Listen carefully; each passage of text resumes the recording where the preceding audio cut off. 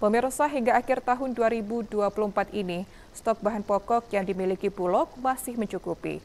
Hal ini dibenarkan langsung oleh Kepala Bulog Cabang Kuala Tungkal, yakni Arif Ahmadi. Hingga akhir tahun 2024 ini, stok bahan pokok yang dimiliki Bulog seperti beras, minyak goreng, dan lain sebagainya masih mencukupi. Kepala Bulog Cabang Kuala Tungkal Arif menjelaskan, stok Bulog yang selalu tersedia yakni beras SPHP, minyak goreng kemasan, gula pasir. Beberapa jenis stok Bulog ini dinilai cukup banyak. Hal ini diakui Arif, di mana hingga saat ini stok beras CBP Bulog yakni 600 ton, minyak goreng 12 ton, dan gula pasir 2 ton. Stok tersebut dinilai akan mencukupi hingga akhir tahun. Di Bulog cabang Kuala Tungkal sendiri sampai dengan akhir tahun insya Allah cukup.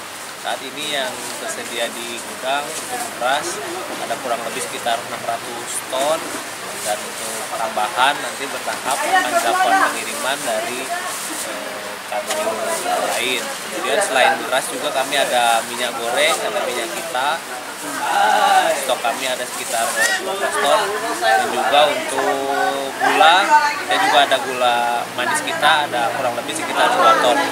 Jadi masyarakat tidak perlu khawatir bahwasanya untuk ketersediaan stok di Bulog sendiri aman sampai dengan akhir tahun sehingga masyarakat bisa memperoleh bahan pangan yang berkualitas dengan harga yang terjangkau. Lebih lanjut, Arif menambahkan, setiap harinya pada jam kerja, Bulog cabang Kuala Tungkal juga kerap melakukan operasi pasar, baik yang dilakukan di kantor di depan kantor Bulog maupun di pasar yang ada di kota Kuala Tungkal. Surya Kurniawan, Cek TV, melaporkan.